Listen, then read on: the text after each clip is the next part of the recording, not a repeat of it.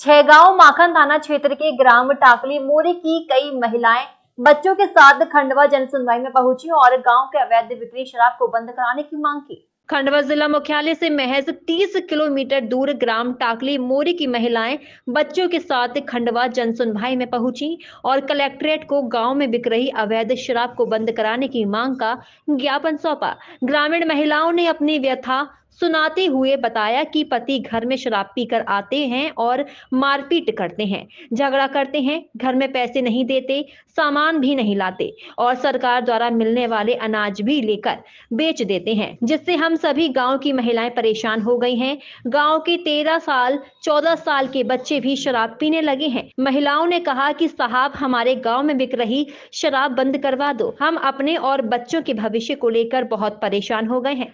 और शराब बंद नहीं हुई तो गाँव में कई मौतें हो जाएँगी। हमारी मदद करो। वहीं अधिकारियों के सामने महिलाएँ रोते बिलखते नज़र आईं। शराब के इसमें आए हैं कि शराब बंद करवाना है।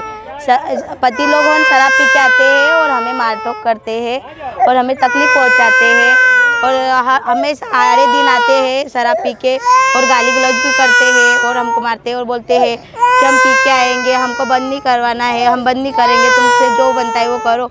तुम क्या कमाते हो जो हमको रोक टोक करते हो? और हमारे अभी तो छोटे छोटे बच्चे हैं तो हम कमाने कहाँ जाएँगे? और कहाँ हम कहाँ मजदूरी करेंगे? क्योंकि अभी और इनका भविष्य भी अभी है। तो इनका भविष्य में हमको अभी आगे पढ़ाई के लिए इनके लिए पैसे जमा करना है।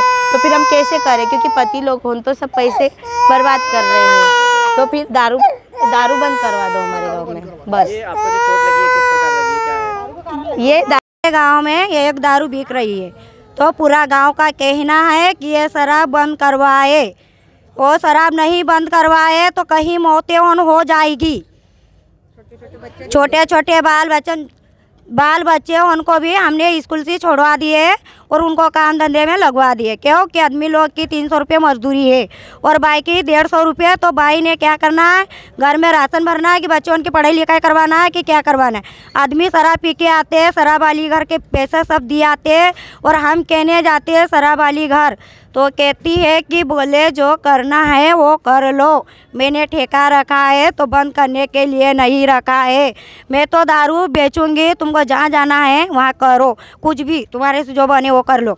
हमारे घर में अनाज नहीं रहता, जो सरकारी गला मिलता है, वो भी आदमी लेके जाते हैं और उसको शराब वाले और उनको दे के आते और पी जाते हैं। तो हमको, हमारे सब गाँव का सहयोग है कि सब दारू यहाँ से कच्ची दारू भी नहीं होना और पक्की दारू भी नहीं होना, सब बंद करवाना है हमको। उससे हमारे यहाँ आज मैं जब तक देख रहा हूँ, पच्चीस वर्ष लगभग मुझे हो गए। वहाँ से अब तक कच्ची पक्की शराब का अवैध कारोबार चल रहा है। इसमें कुछ महिलाएँ भी शराब का कारोबार करने लग गई है, कुछ उनके पति करने लग गए। सब लगभग सह परिवारों पे मतलब ये शराब के कारण भारी नुकसान हो रहा है। कई परिवार बर्बाद हो चुके हैं और कई मासूम जिंदगियाँ जा चुकी है। तो हमने कलेक्टर साहब को ज्ञापन दिया है। कलेक्टर साहब से आश्वासन मिला है कि जल्द से जल्द हमारे टाकली मोरी में शराब मुक्त होगी और जल्द से जल्द पुलिस कार्रवाई करेगी। और हमसे यही निवेदन है प्रशासन से कि हमारे गाँव को शराब मुक्त बनाया जाए और मातृ शक्ति बेचारी जो धाड़की करती तीन सौ रुपये की और उनके पति प्रताड़ित करते हैं शराब के नाम से तो वह शराब जल्द से जल्द बंद हो जाए। नहीं तो उन्होंने कहा था कि कुछ वहाँ पे अवैध शराब बिक रही है उस पर हमने अपने जो संबंधित सर्किल के सब इंस्पेक्टर उनको इन्फॉर्म कर दिया है उस पर बहुत जल्दी एक्शन होगा। और उसमें हम ये है कि वो कह रहे कोई वर्दी में जाते हैं तो पहले से कहीं खबर वबर हो जाती है तो हम उसमें एक प्लान कर रहे हैं कि उसमें कुछ सिविल में भी हम बंदे भेजेंगे अपने सिपाही ताकि हम उनको पकड़ सकें। प्रातः दर्पण न्यूज़ के लिए ओंकारेश्वर माधानता से आकाश शुक्ला की